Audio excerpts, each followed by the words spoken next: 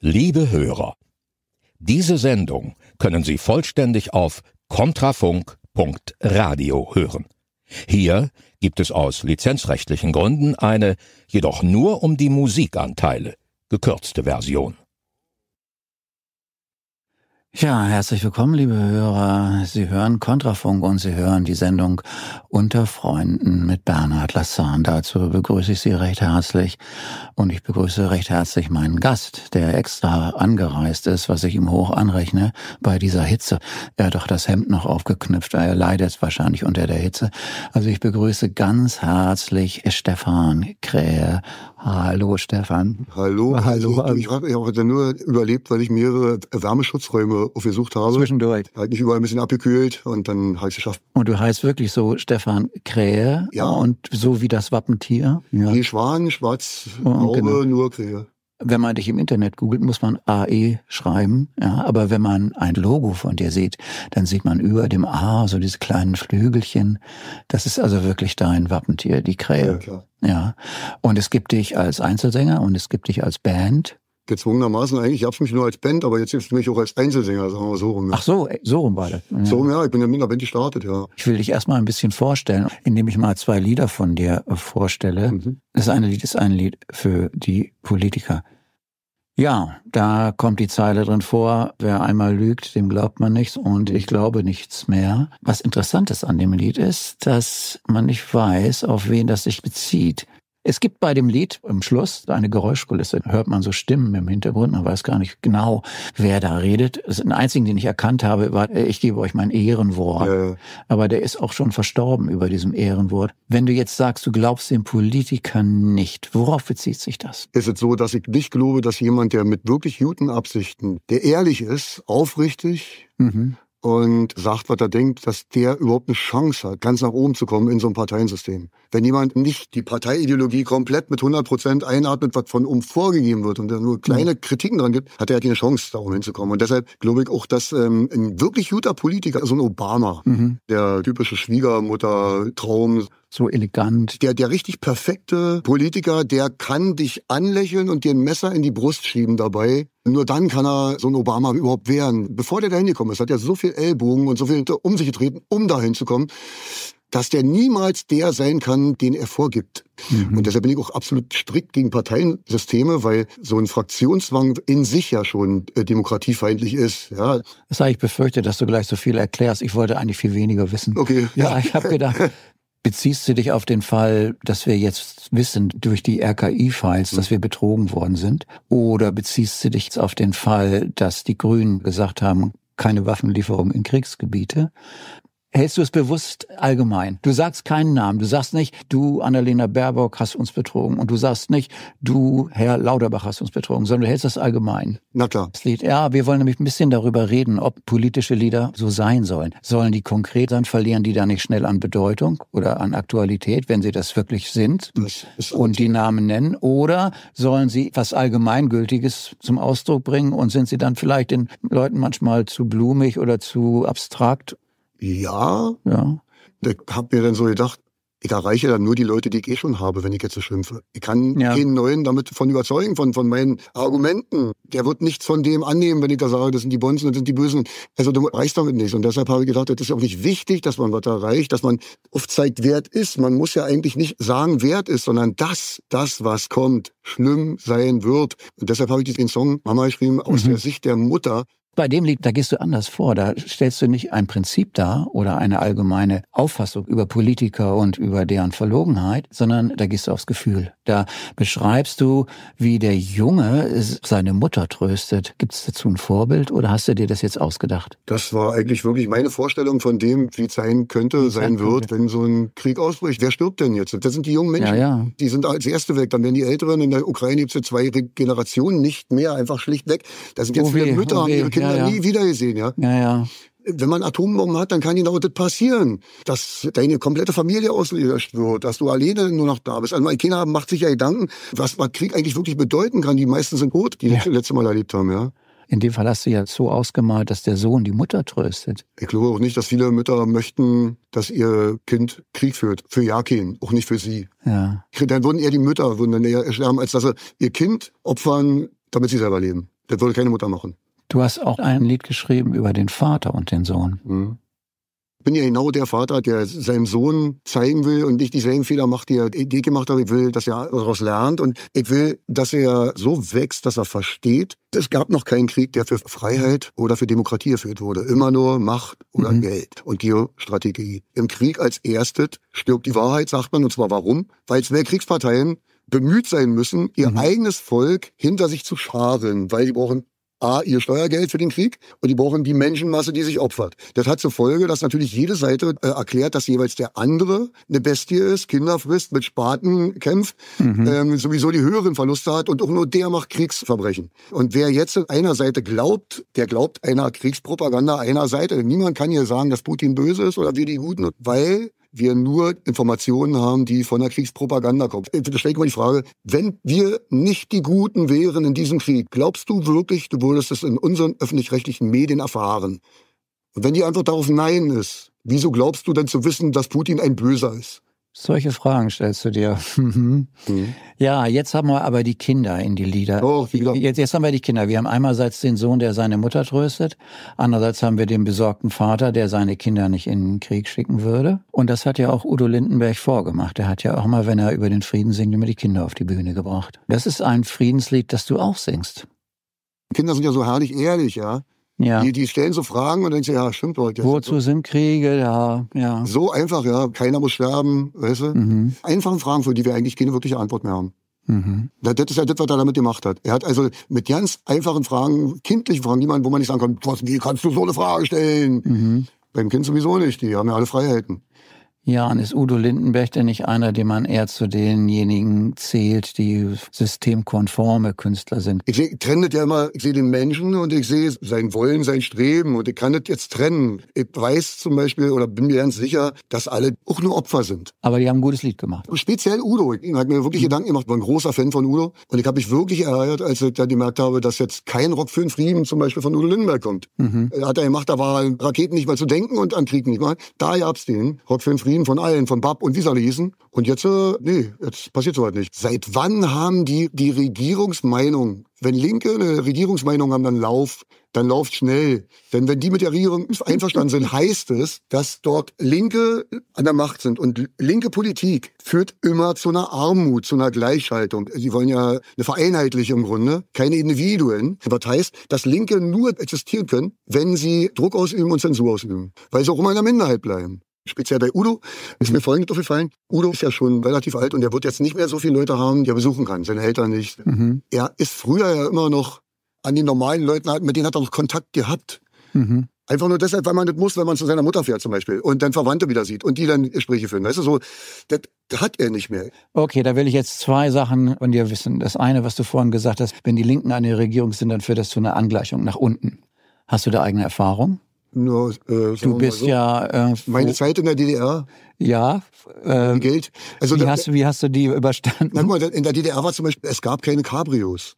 Nein. Es gab einen Wartburg Cabrio, der wurde dann weggenommen irgendwann, weil in der DDR äh, braucht keiner höher stehen als der andere. Mit dem Sportwagen. Mhm. Wartburg Sport gab es auch mal in den 60er Jahren. Tolles Auto gewesen. Haben sie eingestellt, weil damit hätte man eine elitäre Gruppe geschaffen. Und das sollte nicht sein. Sie sollten alle irgendwie gleich arm, gleich reich, gleich irgendwie das, sein. Das war dann übersteigert individuell. In Diktaturen nicht gefragt. Ja. Und da hast du drunter gelitten zur Zeit in der DDR. Naja, du bist ja aufgewachsen in der natürlich, DDR. Ich bin jetzt vielleicht mehr Individuum als andere, einfach durch meine Krankheit. Ich habe ja verbale Inkontinenz und schon immer. Bei mir fällt's einfach immer so raus. Ich sage, was ich denke und mir ist immer, ja, was andere davon halten. Und das und war schon zu DDR-Zeiten? Das war schon immer so. Ich bin zu DDR-Zeiten schon dreimal gesperrt worden. Gesperrt von was? Na, ich durfte keine Musik machen, weil ich mich falsch verhalten hatte. Da muss ich dann. Das heißt, du hast schon in der DDR angefangen, Musik zu machen? Ja, ja, klar. Damals hatte ich zum Beispiel so mit einem Freund, der Texte gemacht, aber so ein Liedermacherprogramm gemacht, das ging um vier Jahreszeiten, ganz harmlos. Okay, sag mal kurz, wie alt du da warst und welches Jahr? Da werde ich so ähm, 16, 17 gewesen sein. Und das waren so die... Das war dann äh, ja. 84, 85, 86 so. Ja, die späten 60er Jahre. Ja. Und da hast du ein ganz harmloses eigentlich Harmlos, Musik... Ja, es ging wirklich nur Weihnachten, Schneefall, Sommer, bunte Blätter, Herbst mhm. und so Musik dazu. Und das haben wir jetzt aber dann nicht mal in der Kirche, sondern in einem Gebäude, wo ein Saal drin war, was der Kirche gehörte. Mhm. Und deshalb musste ich dann bei also die Kreisleitung antanzen da irgendwie mit den Kollegen und dann haben sie uns erstmal wieder ein paar Wochen gesperrt. Nee, wir durften nicht auftreten. Aha. Gar nicht auftreten. Entweder die Kontaktschuld, die Kirche war ja in der DDR der Feind. Ihr hattet Kontakt zu dieser Kirche und Eben. das war eure Schande. Wir haben das nicht vor den Arbeitern und Bauern und den Kommunisten. Vor dem falschen Publikum. Vor dem Applaus falschen von den falschen Leuten. Genau. Also man kennt das alles. Für mich ist das alles hier äh, täglich grüßt das Murmeltier. Und du hattest damals schon den Wunsch, Musiker zu werden, oder du warst eigentlich schon Musiker? In der DDR war es ja so, da haben sie ja richtig danach gesucht, wenn einer was Besonderes kann oder eine mhm. Fähigkeit hat oder so. Und dann haben sie gesagt, hey, der kann singen, also kommt er in so eine Chor Musikschule. Das wäre eine schöne Sache übrigens heute hoch. Ja. Dann irgendwann sollte ich ein Instrument lernen, haben sie dann immer weiter Druck ausgeübt. Im Grunde war der Positives. Du wurdest gefördert? Ich wurde gefördert, aber das hat nicht funktioniert mit einer Geige. Eigentlich wollte ich ein Klavier, aber Mutter hat mhm. kein Geld für ein Klavier. So eine Geige hast du von der Musikschule so bekommen, als Leihgabe. Mhm. Aber Geige ist schwer. Du brauchst bestimmt ein halbes Jahr, bis der Ton, der da rauskommt, mhm. klingt wie eine Geige.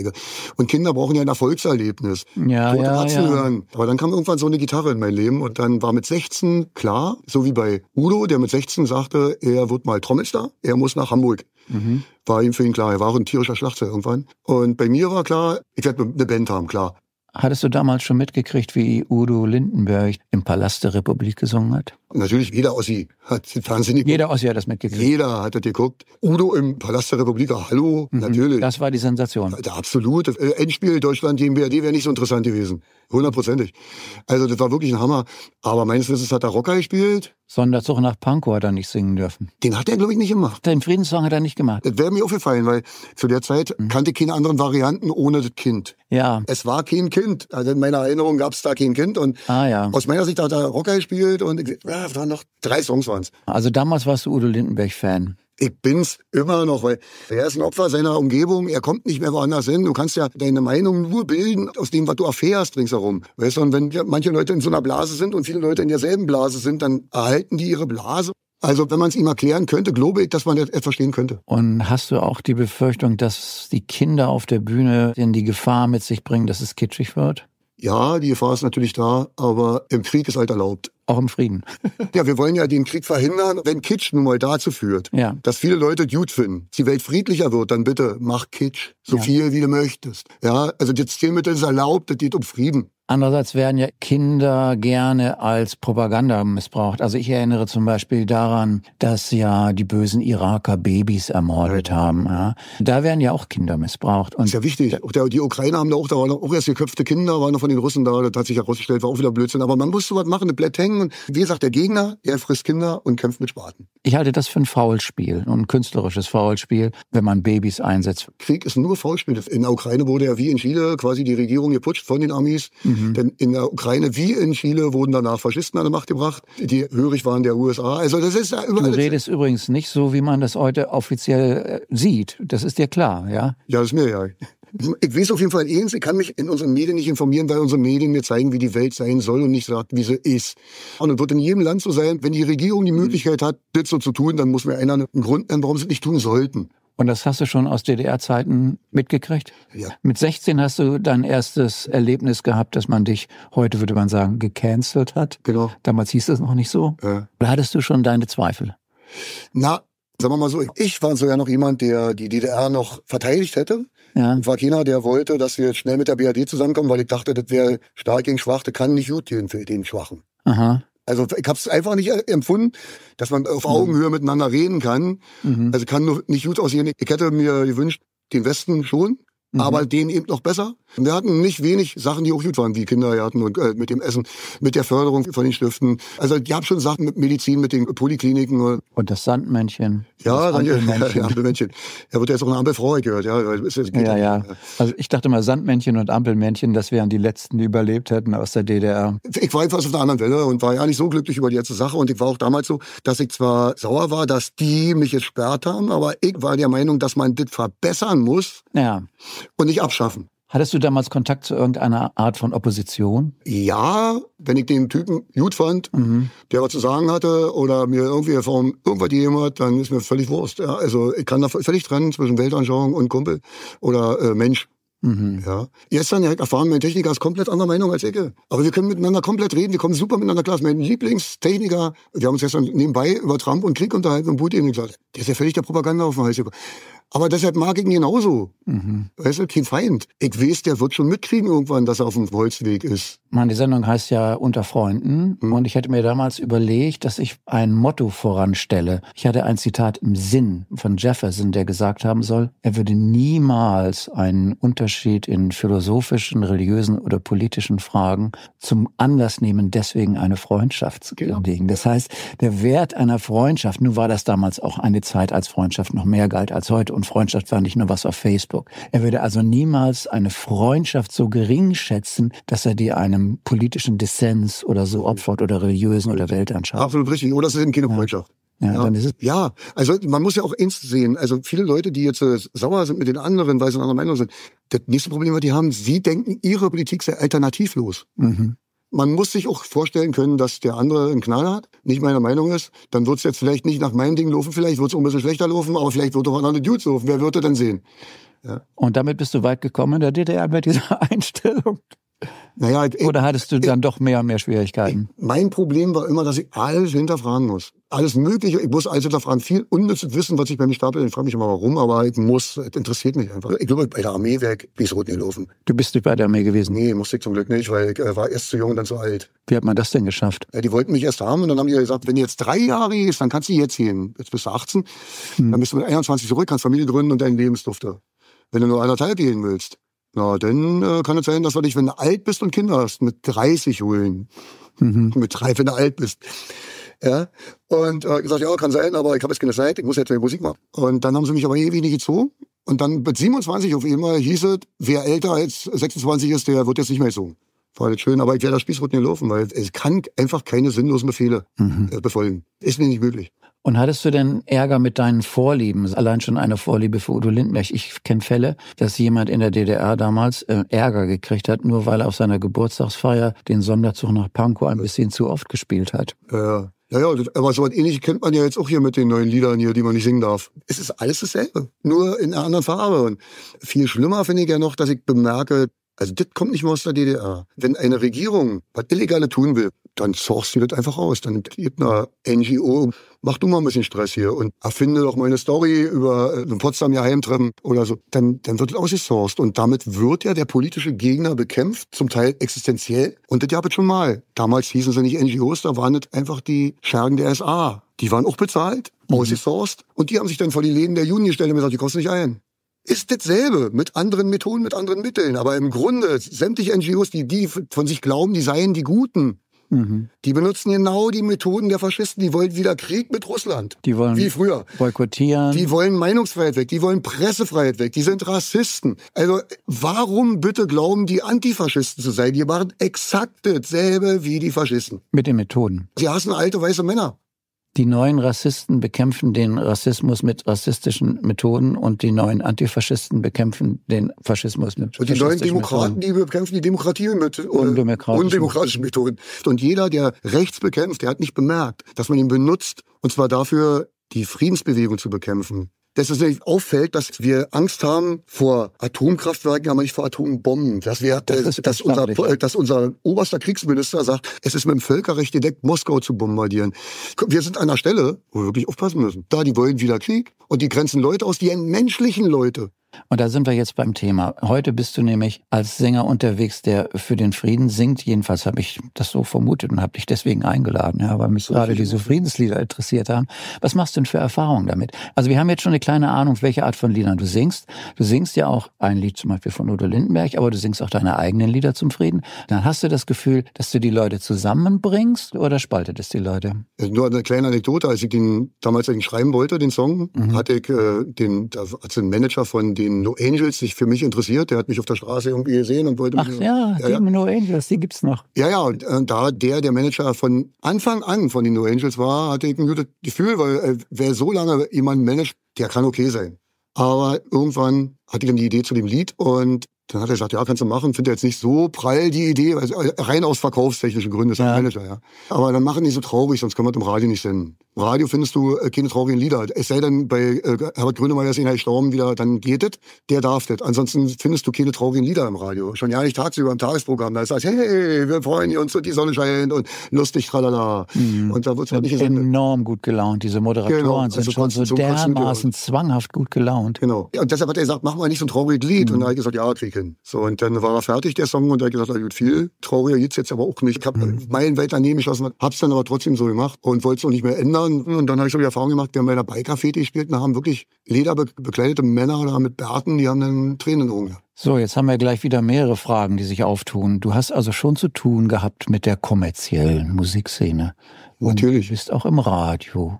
Das heißt, du bist nicht nur der Böse. Du bist nicht nur der Böse, der kontroverse Lieder singt. Nee, nicht mal das, ja. nicht mal das stimmt. Ich war nicht? überhaupt noch nie, ach, ich bin, Du warst noch nie der Böse. Ich habe gar keine bösen Lieder gemacht, bis ich dann, eigentlich haben sie dadurch, dass sie mich zum Rechtsradikalen gemacht haben, ja eigentlich dafür gesorgt, dass ich jetzt äh, deutlicher werde in meiner Ansprache, weil okay. ich kann ja nicht mehr verlieren. Ich kann, man kann ja jetzt auch nicht. ist es raus. Du bist zum Rechtsradikalen. Naja, und Reichsbürger, Antisemit okay. und äh, feine Engel von der Hölle, bitte. Alle also seit wann? Seit wann? Ja, also feine Engel, seitdem unser Bundeskanzler so, alle Friedensliebenden so genannt hat. Das heißt, es war vorher nicht so. Natürlich nicht. Es gibt keinen Text, es gibt kein Lied, es gibt kein Video, kein Post, es gibt nichts, was in irgendeiner Form mich irgendwie Reichsbürger, antisemitisch, rechtsradikal oder äh, nennen könnte. Es gibt gar nichts. Ich habe bei dir was gefunden. Eine Textzeile lautet bei dir kein Bock auf Faschisten. Ich meine, das ist doch schön. Dann könntest du doch bei das, der Aber das schützt dich nicht davor, selber als Nazi übertütet zu werden. Ja, schützt dich nicht. Nein. Ja, und hast wirklich das Gefühl, das ist neuerdings so. Natürlich. Das, das hat damit zu tun, dass sie keine Argumente haben. Linke haben ja keine Argumente. Aber wenn man nicht so reden hört. ich, bin, ich, bin ja, nee, ich bin ja selber eigentlich, würde ich sagen, sozialisiert so linksliberal. Aber ich kenne die Schwächen der Linken. Aber ich kenne auch die Vorteile von dem Linken. Das war nämlich auch viel. Und wenn man das jetzt so mit liberal verknüpfen würde, wäre das meine Idealvorstellung von Gesellschaftsordnung so. Ja? ja. Du weißt, dass es eine Utopie ist, aber Kommunismus ist Loch und alt mögliche. Selbst Demokratie ist eine Utopie. Ich habe noch einen Verdachtsfall. Hm? Heimat. Hm. Also, oh, hey, du hast Heimatlieder. Da kommen wir übrigens wieder dazu, dass sämtliche Definitionen geändert werden. Ein äh, Patriot ist kein Nationalist. Ein Nationalist ist jemand, der andere Nationen ablehnt und seine höher stellt. Ein Patriot findet seine Kultur gut und ein Patriot würde sich mit Patrioten eines anderen Landes super verstehen eher der Patriot aus Türkei würde nicht verstehen, dass es hier keine Patrioten gibt. Das würde er sehen, dass ja. also Waschlappen sind. Da gebe ich dir recht. Ich habe sogar mal gehört, das kannst du mir leider nicht bestätigen, weil du auch nur einseitig das beurteilen kannst, dass man in der DDR sowohl das Wort Heimat als auch das Wort Patriot höher geschätzt hat als im Westen. Natürlich. Es ist kein böses Wort gewesen. Nein, meine Im Heimat, das ist ein Kinderlied. Ja, aber im Westen werden Heimatmuseen umbenannt. Hm. Jetzt muss man sich doch fragen, warum ist denn das so? Warum werden die denn umbenannt? Warum ist denn da ja Stolz da? Du hast einen gewissen Stolz auf deine Heimat und das macht dich zum Rechten heute schon. Naja, aber sagen wir mal so, ich habe den Eindruck, dass der Ossi auch mehr Bescheid weiß über die Geschichte von Deutschland als der Wessi. Wir bestehen aus mehr als nur zwei Weltkriegen und einer Mauer. Ja, da gab es noch eine Renaissance, da gab es Karl den Großen, da gab es also ganz viele Sachen in der deutschen Geschichte, die großartig waren. Die Deutschen hatten 90 Prozent aller Erfindungen auf der Welt damals gehabt in den 90er Jahren. Oh, oh, oh, oh, oh, oh du redest dich gerade wieder im Kopf. Nein, ich, ich, ich, ich, sage einfach Fakten. du, ich, ich, nenne Dinge beim Namen und wenn es nun mal Fakten sind, ist es doch so. Darauf kann man stolz sein, kann man sich freuen. Man kann nicht stolz darauf sein, irgendwo geboren zu sein, weil das ist ein Zufall, da hat der Linke ja recht. Mhm. Da kann keiner was dafür, dass er kann nicht stolz drauf sein. Aber man kann sich freuen, dass man da geboren wurde und man kann dann stolz sein auf das, was die Vorgänger da gemacht haben und sagen, hey, das haben andere nie geschafft und mit denen habe ich irgendwas zu tun. Finde ich toll. Finde zum Beispiel Pappnasenfeste furchtbar. Ich freue mich aber, wenn es Leute gibt, die machen. Weil hier so Karnevaldreck und Ach so. Mhm. Ich freue mich, wenn es Leute gibt, die das schön finden und das machen. Mhm. Ich finde es schlimm, wenn Kinder heute in der Schule nicht mehr meine Heimat oder hoch auf dem gelben Wagen oder wo alle Vögel sind schon da, also irgendein Volkslied kennen. Die lernen im Unterricht meine Lieder. Macht mich stolz, aber ey, Echt, das war? Ja. Sag mal ein Lied. Von meinen Liedern? Ja, ja. Mein Herz, mein Blut, mein Fleisch, das weiß ich, dass sie schon mal gemacht haben. Ja, das ist jetzt nicht mein Song, das ist von der Band Six da vorher noch. Das, Aha, also, das ist vorher schon mal eine Band. Mhm. Genau, ne? also ja. Ja, wir haben das ein bisschen ausgeklammert, deine Geschichte ab deiner ersten Niederlage gegenüber der Obrigkeit, dass du mit 16 gecancelt worden bist. Da war ein kleines Loch, ja. Ja, aber ein kleines Loch. Du hattest schon andere Bands und nicht nur diese Krähe-Band, mit der du heute unterwegs bist. Und du hattest bis vor drei Jahren noch nicht das Image, dass du rechts bist. Ich hab's auch heute nicht. Nur bei denen, bei den Faschisten habe ich es. Ich bin nicht rechts. Und, also, wenn, nur weil die meinen, dass ich jetzt rechts bin, bin ich es doch nicht. Ich meine, wer sind die denn, diese homöopathische Größenordnung? Die machen sich doch nur groß im Internet. Bezahlen sie Leute, dass du den Eindruck bekommst, dass es ganz viele von denen gibt. Die gibt's nicht. Es gibt nicht so viele Blöde, die glauben, dass 72 schlechter gibt. Aber es gibt ein Problem. Du kannst mal rausgehen und jemanden fragen, wie viele schlechter gibt. Da wird er dir sagen, hm, schwierige Frage. Ja, verstehst du? Also, der weiß aber auch, dass es nur zweht, der weiß aber nicht, was er sagen soll. Ja. Hier wird immer in der linken Diktatur Druck gemacht, den Leuten Angst gemacht und mit Zensur gearbeitet. Und das genau passiert jetzt auch gerade. Ja, wenn es soweit ist, wenn du schaffst, einem Land einzureden, dass es mir jetzt zwei schlechter gibt, dann kannst du mit denen halt machen. War das schon so in der DDR? Na klar. Hattest du das schon? In der DDR haben sie auch irgendwelchen Blödsinn erzählt. Und das Schönste war immer die aktuelle Kamera, die ist wie heute Tagesschau. Da wurden keine Probleme benannt. Da war alles schön. Und wenn es irgendwo was Schlimmes gab, dann haben die was Belangloses gefunden, was aber schön war. Mhm. Und ob jetzt 20 Leute abgestochen wurden, ist egal. Dafür ist da hinten der Plan erfüllt worden mit über 5 Prozent. Mhm. Und das ist ja viel schöner. Es gab auch keine Mörder in der DDR, da wurde aber nicht berichtet oder Kapitalverbrechen. Der Eindruck war immer der, das war halt schön. Ja, die Kriminellen waren alle im Westen. Natürlich. Ich kenne Leute, die hatten wirklich Angst vor dem Westen. Bitte? Es gibt ja viele Momente, die verantwortlich sind, wie jetzt eine Hirnwäsche stattfindet. Mhm. Aber eine ist immer dabei. Angst machen. Und das hat den Hintergrund, dass den Stammhirn, die Amygdala, quasi da, da sind ja. alle Urinstinkte drin. Hunger, Angst, Fressen, Paarungstrieb und so weiter. Der Rest bei Menschen, die Intelligenz hat sich in dem großen Gehirn darum entwickelt. Und wenn du jetzt in Panik versetzt wirst, dann ist das große Gehirn raus und die kleine Amygdala entscheidet darüber, wie du dich verhältst. Und du suchst jetzt nur instinktiv nach Rettung, nach einfachen Lösungen, ja. nach und so weiter. Und wenn sie das geschafft haben, können sie mit dir manipulieren. Dann wird einfach nur alles wiederholt, ständig wiederholt. Es wird Framing geben, dass man zum Beispiel, wenn man sagt, der russische Angriffskrieg, der am 22. irgendwann begonnen hat, der, wenn man das immer so nennt, dann wird einfach ausgeblendet, dass vorher der Krieg schon begonnen hat. Der unprovozierte russische Natürlich. Angriffskrieg. Ja, also das wird immer geframed. Die mhm. rechtsradikale AfD, das sind all Methoden der Gehirnwäsche. Und äh, wenn, wenn eine Lüge eben oft genug wiederholt wird, dann wird sie geglaubt. Ja, ich möchte nochmal zurückkommen auf die Frage, wie es dir so geht bei deinem Auftritt. Hast du dann das Gefühl, die Leute stimmen dir zu, die singen vielleicht sogar mit, oder hast du das Gefühl, die Gegendemonstrationen werden immer größer? Oder du wirst zunehmend gecancelt. Der Zuspruch wird immer größer. Ja. Man bemerkt dann, gerade wenn ich mich über Länder lustig mache, wenn ich dann sage, hey, ich bin tolerant, ich mhm. begrüße ja alle 72 Geschlechter. Und wir alle mussten uns ja zu kurz für ein Geschlecht festlegen. Ich habe da einen Penis dran, ich habe mich für Mann festgelegt. Also ich persönlich würde auch das Gewicht ändern wollen und das Alter. Wenn kennen viele Frauen, die dann 29 bleiben für immer. Aber man kann jetzt nur einmal im Jahr das Geschlecht wechseln und deshalb hat die Strategie geändert. Ey, ich bin jetzt also eine Frau. Stefanie. Meinetwegen, und zwar gefangen im Männerkörper, mhm. aber lesbisch. Und das erzählst du auf der Bühne? Das erzähle ich dann so. Und dann merkst du dann, die wirklich mhm. 90 Prozent, 95 lachen. Und wir, wahrscheinlich Lehrer, so da sitzen. Okay, und was ist, wenn du was zum Thema Frieden machst? Erzählst du dasselbe, was du gerade Nein, erzählt hast über, über Putin auf nee, der Bühne? Ich weiß, dass es auf keinen Fall funktioniert, wenn ich ihm meine Meinung dazu erkläre, wie der Krieg entstanden ist, wer Putin ist. Der Westen verliert seine Macht und jetzt kämpft eigentlich der Westen seine letzte Schlacht. Der Westen wird untergehen gegenüber den BRIC-Staaten. Das ist einfach so. Das ist aus meiner Sicht der Dinge von außen. Das will ich jetzt keinem erklären. Wird mir sowieso keiner glauben. Ich möchte, dass man diese Regierung hinterfragt, dass man sie nicht ernst nimmt, dass man darüber nachdenkt, ob das halt richtig ist. Und deshalb ist das beste Stilmittel, dass man sich über die lustig macht. Damit macht man sie nicht stark, damit macht man sie klein. Und die sind ja wirklich nicht groß. Die Grünen fallen ja, die gibt's ja bald ja nicht mehr hier in, in Sachsen oder so. Die haben ja schon noch drei Prozent oder so. Ja, aber im Krieg hört der Spaß auf, oder? Ich kann mir schon vorstellen, dass man über diese Genderfrage gut mal einen Scherz machen kann. Ich kenne das ja vom Kabarett. Das ist einfach ein gutes Kabarettthema. Aber Krieg nicht. Was würdest du sagen, ist dein erfolgreichstes Lied? Welches ist das Lied, mit dem du dich im Augenblick am wohlsten fühlst? Was du vielleicht im Augenblick am wichtigsten findest? Oder das was du am liebsten singst? Alles, alles, alles wird gut, Mama, ist wirklich der Song. Das ist das Lied, wo du am meisten Herzblut reinlegst, wenn du das singst. Ich habe ja unterschiedliche Veranstaltungen. Mal spiele ich auf einer Demo oder ich spiele auch bei Geburtstagen oder Hochzeiten. Ähm, und natürlich auch Konzerte, mal kleinerer Sache, größerer Natur. Normalerweise, wenn ich jetzt zum Beispiel bei einem Geburtstag bin, dann macht das Spaß. Und gut, da mache ich jetzt keine nachdenkliche Musik und will mhm. noch irgendwie Laune versauen, ist ja klar. Aber in letzter Zeit entschuldige ich mich dann aber am Ende, bevor ich dann und sage, der Song ist mir wichtig, den würde ich gerne noch spielen und das mir dann auch keiner übel. Die Zeit arbeitet gegen uns. Es gibt Leute, die im Krieg wollen und die werden alle tun, den durchzuführen, wenn sie keiner stoppt. Die wird keiner stoppen. Der Einzige, der es schaffen könnte, diesen nächsten Weltkrieg zu stoppen, das sind wir.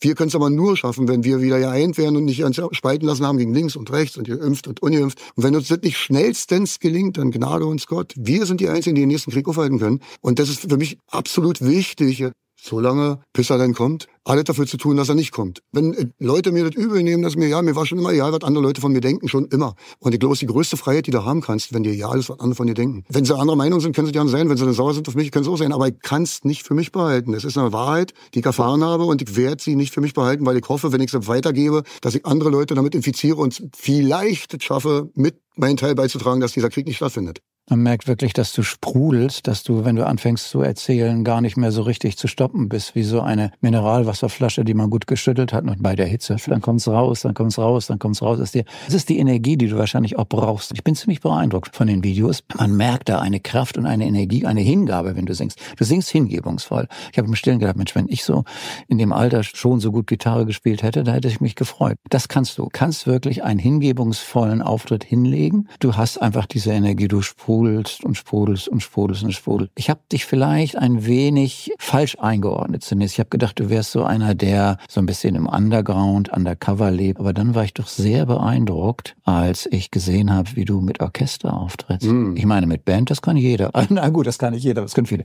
Aber mit Orchester, mm. hallo? Das ist schon nicht mehr alternativ nur mit dem Rucksack irgendwo hingekommen und mit dem Schlafsack auf einer Demo gespielt, sondern das ist dann schon richtig. Ein zweieinhalb Stunden Konzert mit einem 66-köpfigen Symphonieorchester und äh, ausverkauftes Haus in, in Cottbus. Hervorragend. Das sollte man wirklich Alles mal, eigene Songs im Übrigen, ja. Das sollte man wirklich mal erwähnen, damit man nicht den Eindruck hat, du bist jetzt bloß so einer, der auf der Straße geduldet wird, weil er für die richtige Sache einen Frieden Ja, wer sich dafür interessiert, der findet es aber nicht unter Krähe. Der müsste mal gucken unter Six Classics mit C geschrieben und hinten X Classics C mhm. und hinten X als Wortspiel Classics. Ja. Six Classic oder Six Rock Band. Die vorhergehende Band, die hatten ja schon viel mit eigenen Songs probiert, einfach um auch das Image von Coverband loszuwerden. Das war mein Ansinn, deshalb habe ich gemacht. Wir haben 25 Jahre hart daran gearbeitet, dass die Leute glauben, wir sind die beste Coverband der Welt. Jetzt können wir denen übel nehmen, dass sie nur glauben, dass wir die beste Coverband der Welt sind. Und du kriegst das nicht weg. Du warst die beste Coverband der Welt. Wir waren gut. Ja, euer Name? Six. Das ist ja 91 hat gegründet. Mhm. Das ist es eben. Du bist nicht nur eine Garagenband oder überhaupt keine Garagenband. Hier kommen zwei Sachen zusammen. Hier kommt also ein sehr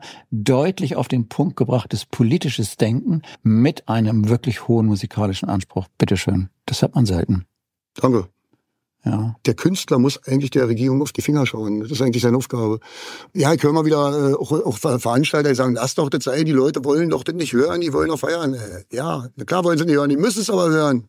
Ja, geht gerade um Krieg, hallo, ja, wach werden. Ich verstehe die Menschen nicht, ich verstehe sie nicht. Die glauben wirklich, dass es nicht ernst ist, dass es nicht schlimm ist, wenn unser Minister sagt, wir können Moskau bombardieren, das ist für ein Völkerrecht gedeckt. Oder Panzer retten Leben, Alter. Wie bekloppt ist das? Wie viel Leben haben wir denn gerettet jetzt mit unseren Panzern, die wir hingeschickt haben? Also, also, weißt du, ist das so offensichtlicher Blödsinn. Wie dumm muss man denn sein, zu glauben? Ich verstehe es nicht. Also das ist wirklich diese, diese Manipulation, die funktioniert so derartig gut, ist irre. Lieber Stefan, ich muss die Kurve kriegen. Du hast so schöne Schlussworte gefunden, dass es mich schon ein paar Mal in den Finger gejuckt hat zu sagen, okay, jetzt ist aber das, das war jetzt aber das finale das Schlusswort. Schöner kann ich es auch nicht sagen. Ich kann nur noch mal wiederholen, dass ich mich wirklich bedanke, dass du dir die Mühe gemacht hast, hier bei dieser brüllenden Hitze hierher zu kommen und dass du uns einen kleinen Einblick gegönnt hast in deine eigene Geschichte, aber auch vor allen Dingen in die Situation, in der wir heute stecken, die nämlich tatsächlich von wahrscheinlich keinem größeren Problem gekennzeichnet ist, ja. als Einzige, was uns verbindet, die Gefahr Frieden. durch den Krieg. Einzige, was uns verbindet, ist Frieden. Das und nicht ist, mal das schaffen wir, da können wir nicht mal zusammenrücken. Also das ist das Wichtigste, was wir im Augenblick gerade haben. Ja. ja. Warum kämpft ihr gegen rechts? Äh, braucht ihr, könnt ihr sein lassen. Ihr bekämpft die Friedensbewegung. Ihr könnt einfach aufhören, weil ihr werdet dann im Krieg sterben. Ihr werdet nichts davon haben, dass ihr gegen rechts gekämpft habt. Ihr werdet einfach demnächst tot sein. Entweder an der Front oder hier einer von den 15 Millionen Opfern, die demnächst der dritte Weltkrieg bringen wird. Den ihr zu verantworten habt, weil ihr gegen rechts gekämpft habt und damit die Friedensbewegung äh, benutzt habt. Ihr habt euch als Vasallen der Kriegsindustrie benutzen lassen, ohne dass ihr das wusstet. Aber wenn eine Sarah Wagenknecht oder eine Alice Schwarzer rechtsradikal sein sollen, weil sie eine Friedensdemo gemacht haben, dann sollte man wach werden. Aber nur mal für alle, die wirklich glauben, dass da Rechte sind, dürfen Rechte keinen Frieden haben. Für Frieden geht mit jedem auf die Straße. Mit allen gehe ich auf die Straße und will Frieden. Auch mit Habeck. Auch mit Habeck, das war ja ein bitteres Schlusswort. Ja. Ich versuch's nochmal. Lieber Stefan, ich bedanke mich herzlich dafür, dass du gekommen bist. Und ich bedanke mich herzlich dafür, dass du gekommen bist. Und ich bedanke mich auch für dein Engagement für den Frieden. Ja, ja nicht dafür. Okay, mach's gut. Tschüss. Das war die Sendung Unter Freunden mit Bernhard Lassan auf dem neuen Sendeplatz am Sonntag um 15 Uhr und in der Wiederholung um 21 Uhr sowie am Montag um 8 und um 11 so soll es auch in den nächsten Wochen weitergehen. Es werden auch weiterhin die Folgen von Unterfreundin archiviert und als Podcast zur Verfügung gestellt, so dass Sie die anhören können, wann immer Sie Zeit dazu haben. Das Archiv kriegt sogar eine eigene Seite und wird ausgebaut. Da finden Sie Zugaben, Bilder, Tipps, Hinweise, Ergänzungen, Informationen zu meinem Gast, zu Stefan Krehl, zu seiner Band Six und zu Classics und zu Aktionen für den Frieden, die für ihn zu einem Herzensanliegen geworden sind. Aber seien Sie nachsichtig, die Seite ist noch im Aufbau, ja, und manchmal kommt es mir vor, als wäre das Leben sowieso eine einzige Baustelle. Es hat mich sehr gefreut, dass Stefan Krehe Zeit für einen Abstecher gefunden hat. Er war auf dem Weg zu Tim Kellner und kam mit angenehmer Begleitung auf einen Kurzbesuch vorbei und hat so viel erzählt, dass es noch für mindestens zwei Sendungen reichen würde. Aber ich muss einen Schluss finden. Damit verabschiede ich mich. Herzlich Ihr Bernhard Lassan. Wir versorgen Sie täglich mit Informationen frei von Lügen, Humbug und Gedudel. Bitte unterstützen Sie uns mit einer Spende oder abonnieren Sie den Kontrafunk Rundfunkbeitrag www.kontrafunk.radio